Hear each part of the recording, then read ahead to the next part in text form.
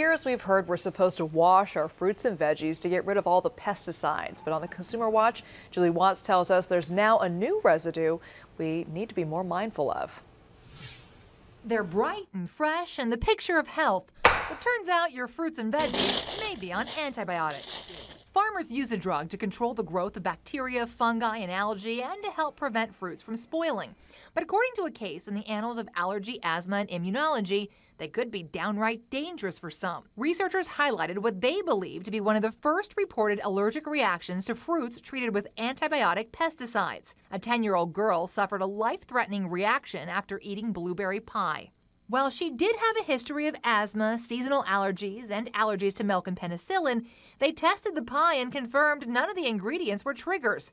Instead, they linked the reaction to the blueberries, which had been treated with antibiotics. This could explain why so many patients insist that they're allergic to berries, yet when we test them to berries, they're negative, and when they reconsume the berries, they seem to tolerate them. True allergies to berries, strawberries, blueberries, raspberries, any of the berries, is extremely rare. Doctors think traces of antibiotics on produce, meat, and in the water supply could have also played a role in the girl's reaction, which they do believe is rare. One batch of blueberries may contain a high amount of streptomycin, whereas another may not.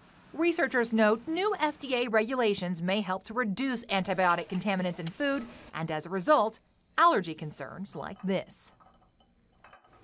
Now, many European countries prohibit the use of antibiotics in food, and while they are allowed here, there's long been concern that they can lead to antibiotic resistance. A little over a year ago, the FDA implemented a voluntary plan to phase out antibiotics in food production. And they say, again, this is very rare. In fact, she's the first known case, uh, at least that they're aware of of being resistant to this kind of antibiotic. Of being well, of being affected, of getting right. sick like this and having an allergic reaction from eating berries, which they've now connected to the antibiotic residue. What are you supposed to do though? I mean, you know, I don't have a lab at my house to test everything to see before I eat it. How do you know what you're buying in the store is any good? It's got all those chemicals and antibiotics and flip a coin, huh? Ken, if I knew the answer to that, yeah. I would be a very rich woman. Right now, there really is no way to know. Wash your fruits and vegetables. And again, most people are not going to have this reaction.